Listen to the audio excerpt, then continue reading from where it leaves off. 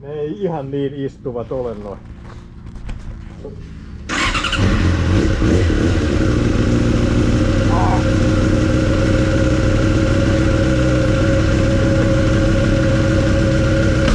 Vois luulla, että kovempi katurataukko, kun ei pääse